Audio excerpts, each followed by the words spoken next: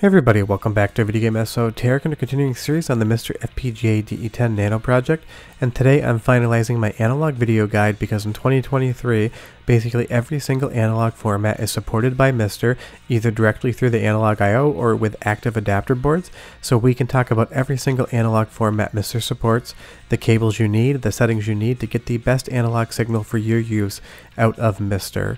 Before you get too far involved there, do me a huge favor, down below, hit like and subscribe. That notification bell definitely helps us out. And if you feel so inclined and want to support the channel, we got a Patreon link down below as well.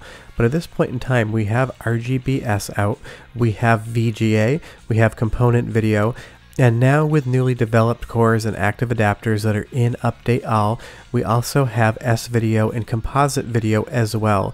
This is basically every single analog format you could possibly imagine.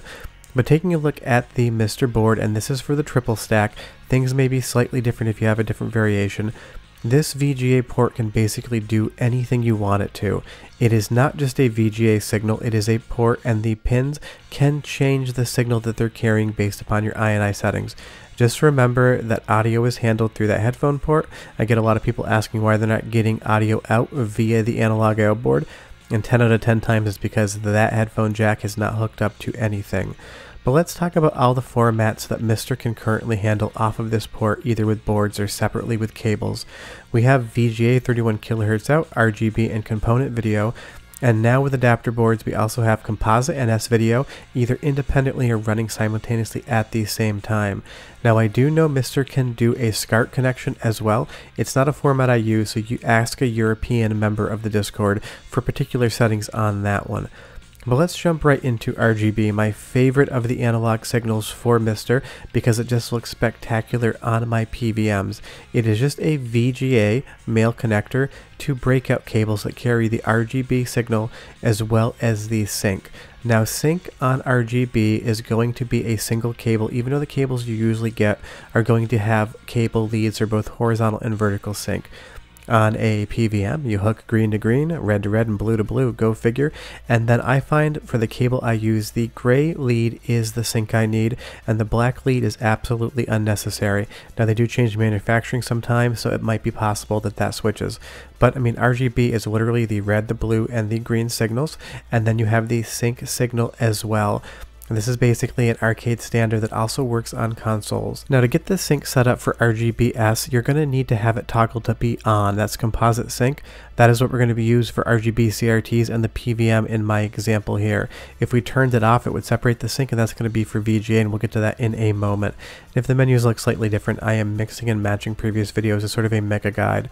Now just be aware, and I warned people before, the BNC breakout cable I recommend is quite heavy, so just make sure you structure it in a way that it's not putting stress on that port. And here's the thing about PVMs and RGB signals. Every PVM is different, every monitor is different and I have not found a single setting that will allow me to use every single core without having to adjust the screen size. I have not found a PVM that will do this for arcade boards or original hardware either. It's not a MiSTer issue, it's just part and parcel of using analog video, so get familiar with getting into the service menu and changing things around. And the great part about a CRT, whether it's a PVM or otherwise, is this. Some games a lot of arcade games run in Tate mode, especially for shmups. That means that we're actually having a different screen space configuration than a standard 4x3 monitor. The great thing about analog video is that you can just turn it on its side. Grab that TV, grab that PVM, throw it at a 90 degree angle, and you have Tate mode ready to go. And like I said, another reminder, just remember, you got to deal with the audio out. Every single video someone comments they have no audio, it is a separate connector. Please remember that. Now moving on to component video, this is going to be basically the best standard you can get on a consumer CRT. It's very rare in North America to see a CRT that'll accept an RGB signal. That's basically PVM and BVM territory. Now this does have a green, a blue, and a red cable, but it's actually YPBPR. A lot of people think that this is an RGB standard and it is not.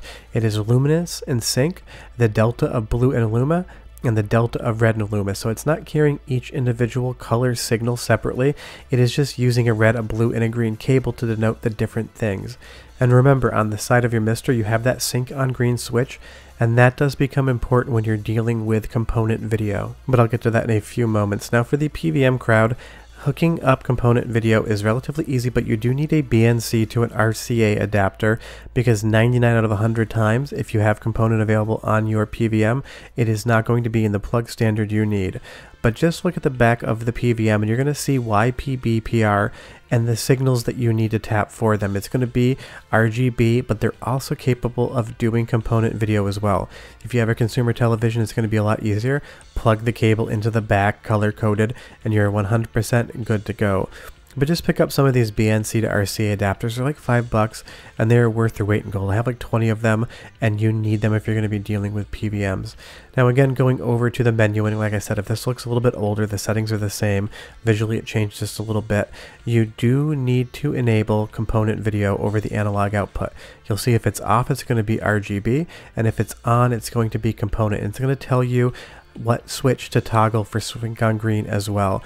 Pay attention to the prompts because when you go to component video, you need to enable that sync on green because that is how component video syncs. Now moving over to VGA standards, these type of monitors are a dime a dozen, and unfortunately this one got cracked in shipping, but it's basically a new old stock Sony Vaio that has an absolutely spectacular image to it but 99 out of 100 of these monitors are not going to take 15 kilohertz signal.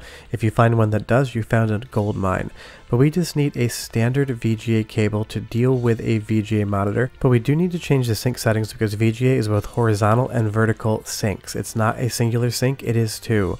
So again, menus might look slightly different, settings are the same. We need to separate the sync out or turn it off. That is going to give us both the horizontal and vertical sync that a VGA monitor is going to require.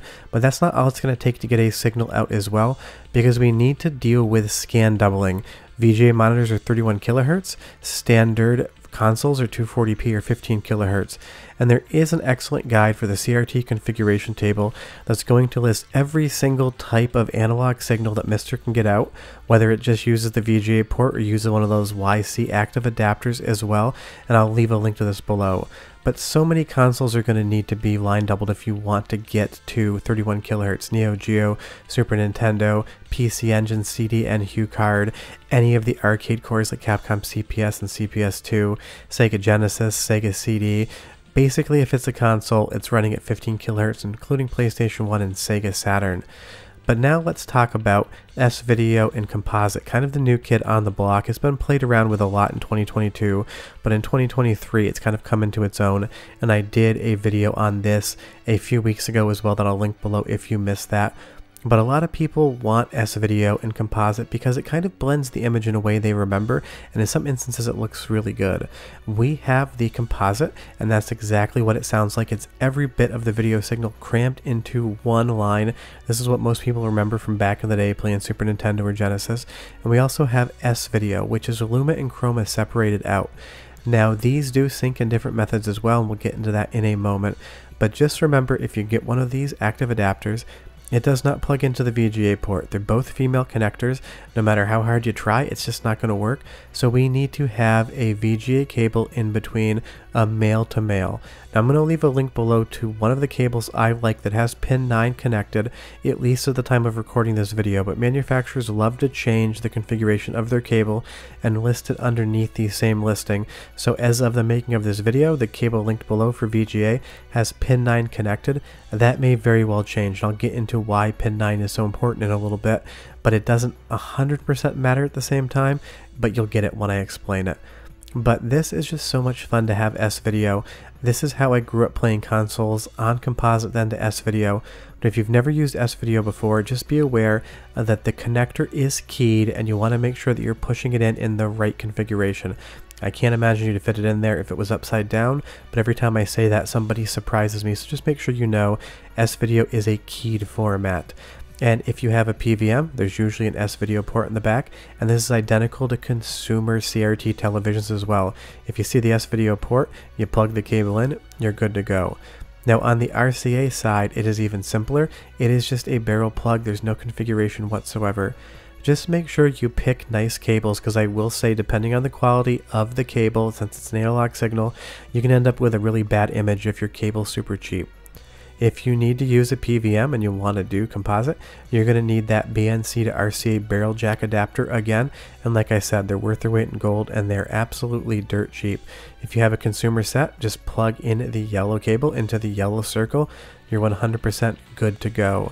Now I talked about pin 9 and the VGA cables that I like, and that is because this board, the Breakout YC board, does need power and on the VGA standard, pin 9 can carry a 5 volt signal, but a lot of modern VGA cables that are made now do not connect that pin because it is basically not essential outside of very specific uses, in this instance MiSTer. But you can just power these active boards via USB-C as well, now it does add an extra cable to the mix. We already have a decent amount of cables coming off of our MiSTer, but you can plug any USB-C cable that carries power, and trust me, that is all of them, into this port right here. And at the other end, you can use something like an Android or an iPhone wall wart. At least I know you can use an iPhone one because I tested it and it was perfectly fine. Just be aware these active boards do require power however you want to get them over to it. You can use the USB-C, but don't forget on the top of the MiSTer itself near that VGA port is this 3 pin header right here. If you jump the left and center pins together, that will activate 5 volts across pin 9 and that will power that YC board without any other external adapters. You're literally just sending 5 volts across pin 9, but that is just for that adapter. If you're not using it, take the jumper off. You don't want to be sending any voltage over the line otherwise, because I have no idea what you're hooking it up to. You just need to buy a jumper because by default all of these are open and MiSTer does not come with a spare one. But the settings you need to use if you're going to do S-Video or Composite are on screen as follows. Switch these modes over, make sure that you have all the settings correct, and you're going to get the S video and the composite video out of your MiSTer and you can hook it up into a PVM or any sort of consumer CRT that accepts those signals and pretty much I would believe all of you at least have composite on the back unless you're dealing with a very old TV and then you probably know what you're doing. But those are all the analog signals that MiSTer can carry in 2023. RGB, VGA, and component do it right off the I.O. board. S-Video and composite need to have that active adapter, but it is definitely worth it. These are the signals you can get to play analog off your MiSTer, and I highly recommend you use at least one of them. Sure that if you have any questions, leave me a comment down below and I'm happy to help. I'll be back next Thursday with another MiSTer video. I'll have videos for the week as well. But in 2023, MiSTer has every single analog signal you could possibly want covered. See you guys next time. Bye bye.